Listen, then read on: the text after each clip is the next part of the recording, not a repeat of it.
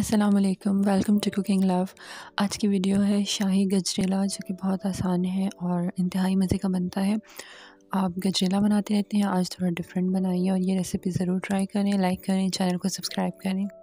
बिसमीम सबसे पहले दो लीटर दूध लेंगे और उसे अच्छी तरीके से बॉयल कर लेंगे हम। काफ़ी सारे बॉयल देने इस तरह से स्पून से मिक्स करते रहना है, मलाई को वापस इसके अंदर डालना है। जब तक मिल्क बॉयल हो रहा है, हम एक और कुकिंग वेसल के अंदर दो टेबल स्पून देसी घी डाल देंगे और इसे मेल्ट होने देंगे।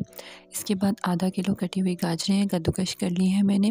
थोड़ा मोटा कद्दूकश कीजिएगा इसे ताकि ये नज़र आए वरना मेल्ट हो जाएँगी बिल्कुल। हाई फ्लेम में इसे हम अच्छे तरीके से भून लेंगे। ये देखिए इसका कलर बिल्कुल चेंज हो गया है और हमारा मिल्क भी अच्छी तरीके से बॉयल हो चुका है। काफ़ी सारी मलाई इसके ऊपर आ गई है, उसे हम वापस मिक्स कर देंगे। आँच को बिल्कुल हल्का कर देंगे और इसके अंदर हम वन थर्ड कप चावल का आटा डाल देंगे।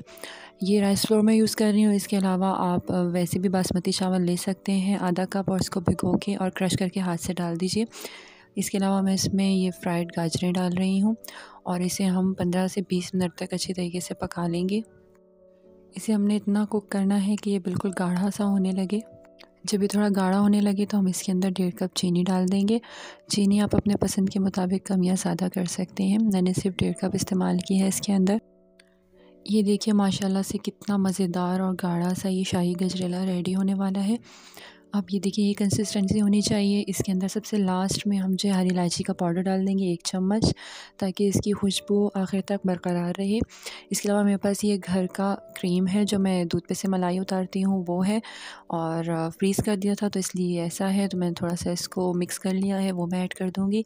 इसके अलावा आप जो पैकेट का फ्रेश क्रीम मिलता है ट्रेट्रा पैक का, वो भी आप यूज़ कर सकते हैं इसके अंदर। मेरे पास घर की मलाई थी तो मैं वही इसके अंदर डाल रही हूँ। बहुत ही ज़्यादा इसका मज़े का टेस्ट आ रहा है। कुछ करें, आपके पास यही है तो आप यही डालें, बस इसे मिक्स करेंगे। एक टेबल स्पून केवड़ा वाटर डाल देंगे फ्लेम को ऑफ़ कर देंगे। आप चाहें तो इसे ऐसे ही गर्म भी सर्व कर सकते हैं और चाहें तो ठंडा करके भी सर्व कर सकते हैं। दोनों सूरतों में इंतहाई मज़ेदार है।